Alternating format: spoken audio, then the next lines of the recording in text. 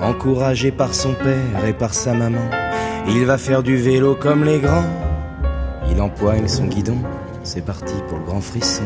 Sans les petits trous qui stabilisent, va falloir qu'il improvise. Notre.